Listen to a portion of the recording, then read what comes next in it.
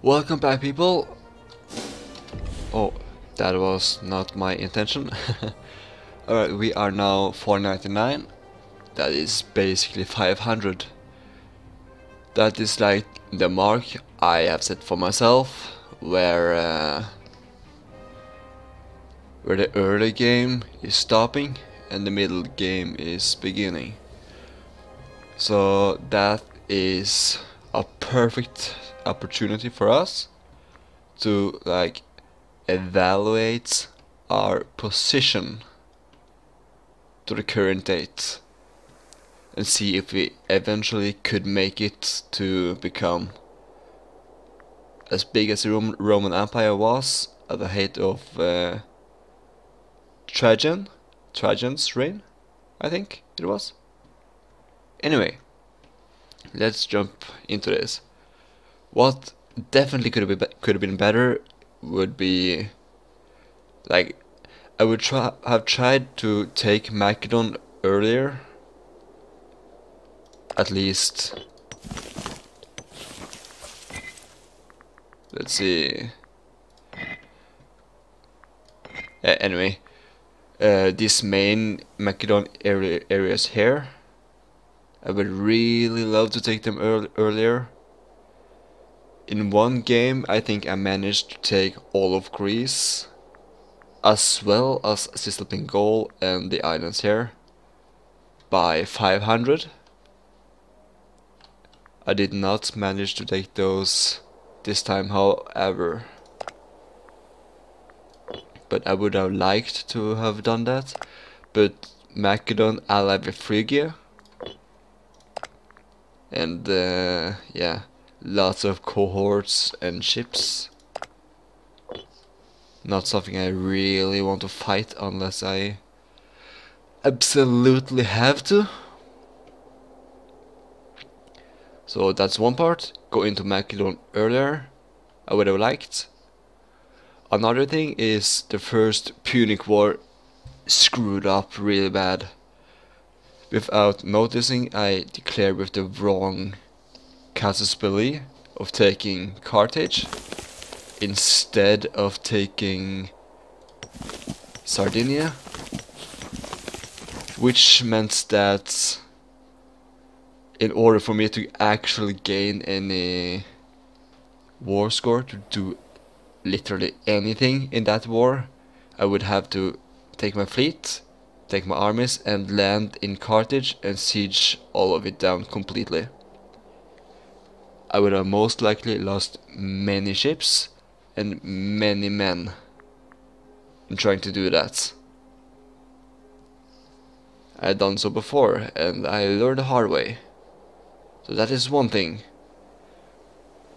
So if I had declared for the right uh, Casus Belli at at the beginning, the second Punic War didn't have to be the one that we declared, really It would have been much easier for us. And we could have done something else, like going into going into Greece, for example, in that time. Another thing which could have been better would be Cisalpine Gaul. We struggle with uh, rebellion. Pretty easy to take down, but it took took time, and there were, there were forts there, so we had to siege them down. Sorry about that. Um,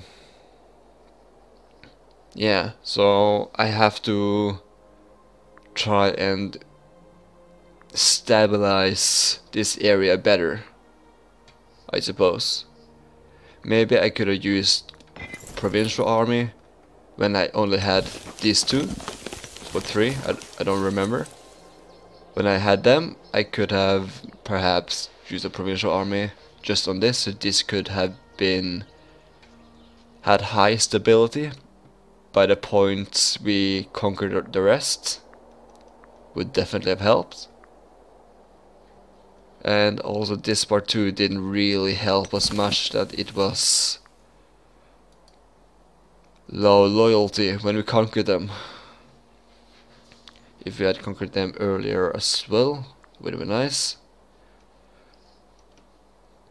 Uh, and also the Ligurian mission Ligurian mission completely failed. It didn't work for some reason. So Paradox definitely needs to fix that. I know why it might have not so worked because it was when I improved relation with them. It was just within their requirements and the next month that disappeared. So it was kinda futile. But still I managed to set the mission in action and that should have been enough really so the, the mission didn't work and uh,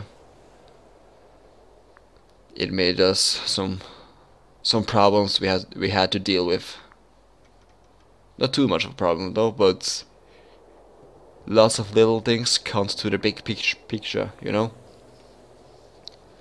Another thing we could have done would have been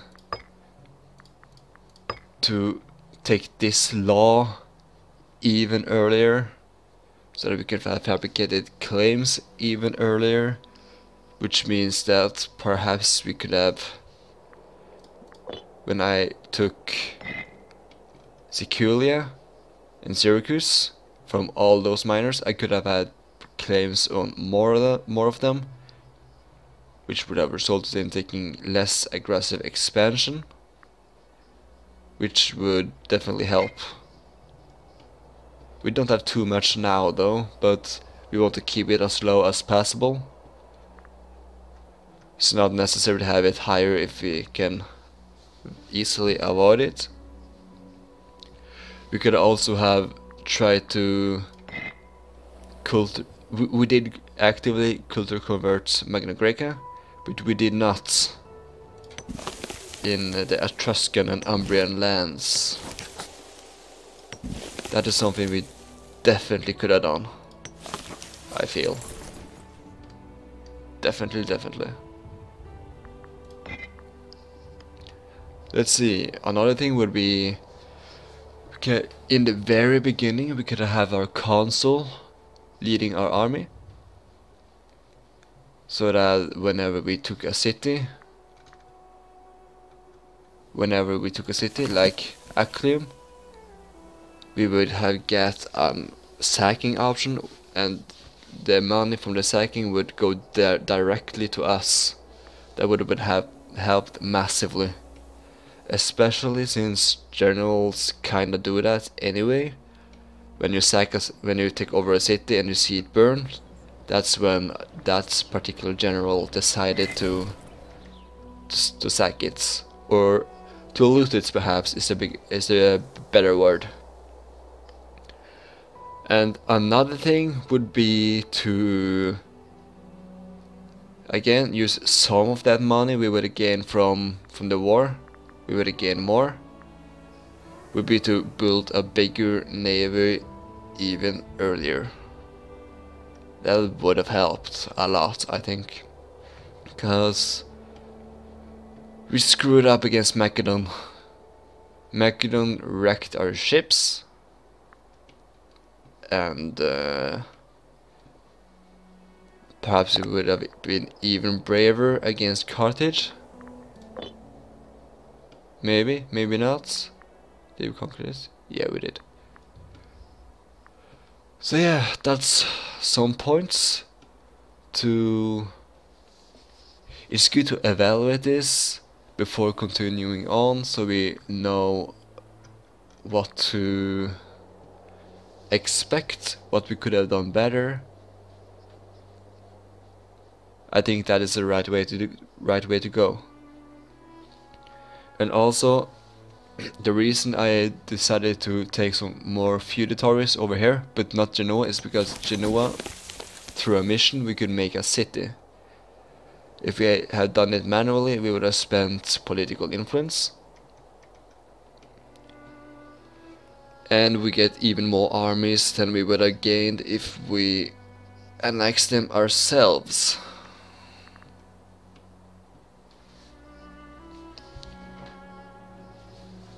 And another thing is that the feudatories we have here in uh, Italy.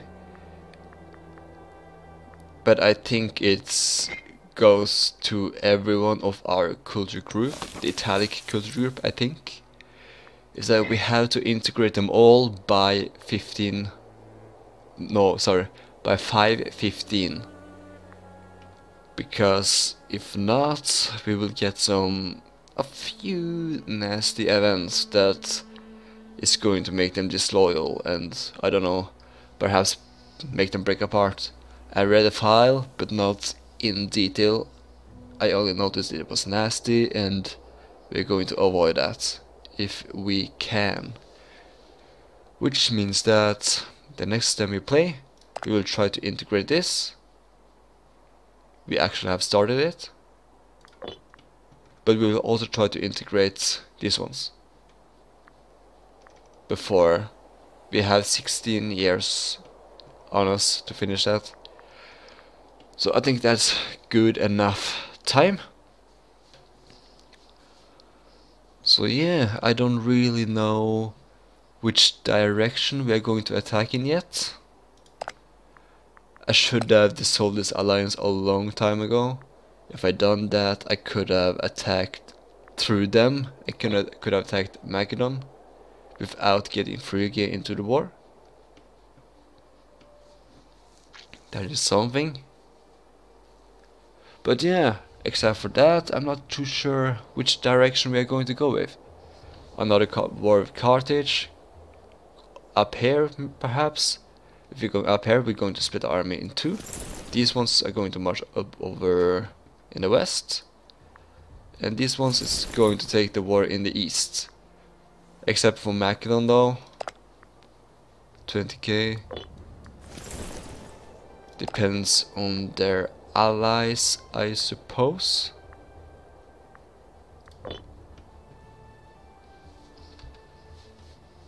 So yeah, so that we can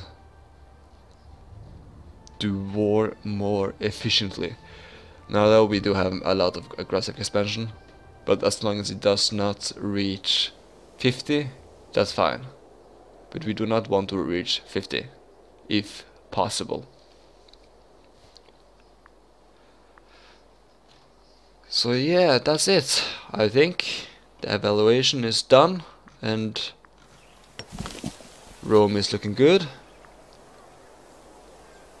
We have lots of capital surplus bonuses. It's really, really, really nice.